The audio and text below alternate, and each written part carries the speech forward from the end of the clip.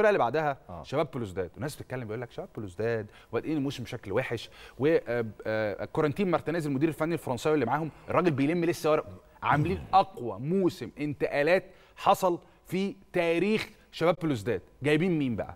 الهداف التاريخي المنتخب الجزائري إسلام سليماني. ايمن محيوس لعيب كان وقع وكان خلاص هينتقل لنادي الزمالك لكنه فضل الانتقال في اللحظات الأخيرة لإيفردون في الدوري السويسري الممتاز. خدوه على سبيل الإعارة لمدة موسم لسه ما دخلش معاهم في الفرقة. هم تعادلوا آه، شاكر أول ثلاث مباريات سلبيا.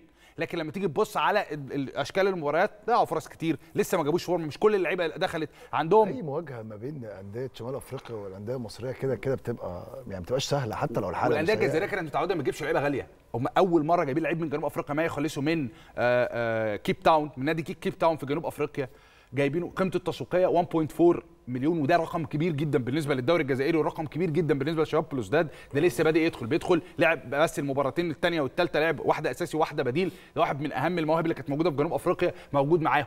آه، في في المجموعة الأولى. رزق حمرون لعيب اللي كان متألق بشدة مع فاركو في الدوري المصري انضم لهم في ال- ال- اللحظات الأخيرة من الميركاتو. جاكن بي واحد من أفضل اللعيبة اللي كانت على رادار الأهلي والزمالك بيلعب في النجم الساحلي ضموه في اللحظات الأخيرة. عاملين أفضل ميركاتو ليهم في في في تاريخهم وفي السنوات الأخيرة بدأوا الموسم ما استقبلوش ولا هدف لحد دلوقتي لكن القصة هم لسه على صعيد الانسجام لانهم مغيرين يعتبر خط الهجوم بالكامل باستثناء الثنائي القديم أشهرهم طبعا عبد الرحمن مزيان الثنائي القديم اللي موجودين الخبرات اللي موجودة في الفرقة لكن مغيرين الأربعة الباقيين. فبتتكلم على إن هم داخلين لسه فأنت أوعى تستهين بشباب بلوزداد. ولو نعرف بعض الحاجات لشباب بلوزداد هم بيلعبوا مع اتحاد بسكاره مباراة أمس. في خارج الأرض اتفرج على شكل الجمهور خارج الأرض. لو نعرض بعض اللقطات بتاعة شباب بلوزداد هم بيلعبوا خارج الأرض. بص شكل الجمهور عامل إزاي؟ ده خارج الأرض ما بيلعبوش على أرضهم.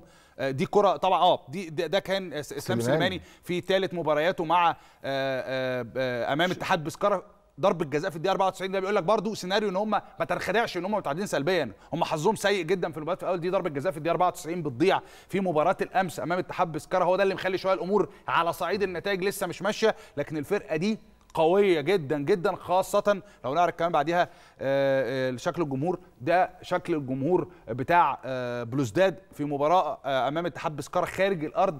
فمباراة النادي الأهلي أمام بلوزداد باللعيبة اللي موجودة بعد ما ياخدوا لهم شهر من الانسجام بشكل الجمهور ده لا منافس بس قوي الجمهور ده مش هيعمل. كده في ماتش الأهلي عشان الكاف عشان العقوبات مليون في المية لا. أنا مش بتكلم على بيتكلم أنا مش بتكلم أنا بتكلم على الجماهيرية بتاع بلوزداد. حجم الجماهير في مباراة خارج الأرض قد إيه؟ ما بالك في مباراة على بس ملعبهم الأهلي في الملعب الصغير. والأهلي راح لهم. لا لا ده مش ملعبهم.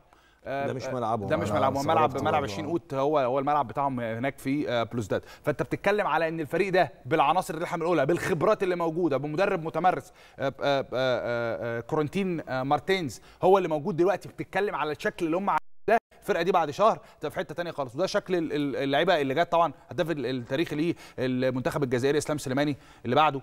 آه، لعيب كبير وخبرات كبيرة جدا أيمن محيوس آه، واحد لعيب دولي بتكلم على لعيب دولي طبعا. مع منتخب الجزائر في البطولة في البطولة العربية وكان قريب جدا من الانتقال لنادي الزمالك اللي بعده اللعيب اللي بعده على طول. آه، جاكن بي ده كان برضه كان على رادار الأهلي في وقت من الأوقات مش الفترة الأخيرة وكان قبله بعده على رادار الزمالك لكنه لم ينضم. جاي من النجم الساحلي في صفقة مهمة جدا لعيب وسط ملعب قوي جدا وده آه، خليسو ماي خليسو واحد من أفضل اللعيبة اللي موجودين في جنوب أفريقيا وكان من اللعيبة المتوهجة جدا واتكلموا عليه كتير جدا في الجزائر ده صفقة الموسم بالنسبة لهم. رزق حمرون المنتقل من آه، فاركو ليهم في الموسم الحالي. بتتكلم على ميركاتو قوي جدا لشباب بلوزداد جماهير كبيرة جدا مباراة خارج الأرض صعبة جدا المواجهتين صعبين جدا بالذات خارج الأرض للنادي الأهلي خاصة مواجهتي خارج الأرض. كمان؟ أخيرا آه.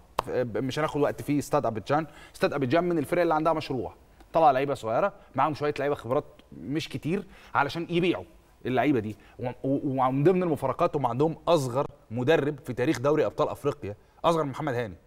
وأصغر من- وأصغر من قفشة 27 سنة. 27 سنة؟ 27 سنة. بتتكلم على مدرب عنده 27 بالمناسبة يعني هو الراجل لما نيجي نتكلم 27 سنة لحق ياخد اللايسنس إمتى؟ هو الراجل أكاديمي أصلاً، آه، الراجل أكاديمي جدا الراجل أكاديمي جدا عنده 27 ده سنة. نيجلزمان بتاع ف- المانيا فأنت بتتكلم عن راجل عنده 27 سنة وده كان التعاقد بتاعه أول أول ما جابوه تحسه فاهم لسه صغير لسه لسه لسه بيحبو في كرة القدم ولسه أول تجاربه بالمناسبة هو ما اشتغلش غير فرقة السيدات الشباب كمان في في نادي باريس مش باريس سان جيرمان في نادي باريس في آه، فرنسا وبيحاول إن هو يعمل مشروع وحتى هو في تصريحاته النهارده. إنه قال ان هو هو متخوف من الأهلي لكن هو هيحاول إن هو يصعد مع الأهلي وعارف إنه الأهلي أفضل فرقة في أفريقيا في آخر سبع أو ثمان سنوات وما عندهمش يا كريم لعيبة خبرات غير سيلفان كبوهو طبعا الجماهير المصرية أكيد عارفاه ده حارس ال- الحارس الأول لمنتخب كوتيفوار لحد أمم أفريقيا آه، 22 23 والحارس الأول لمنتخب كوتيفوار 36 سنة. ده اللعيب الكبير في السن اللي موجود في الفرقة وكابتن الفرقة والقائد بتاع المجموعة اللي موجودة لأن زي ما قلت لك لعيبة مغمورة لعيبة صغيرة كلهم في في فرقة استاد أبيجان.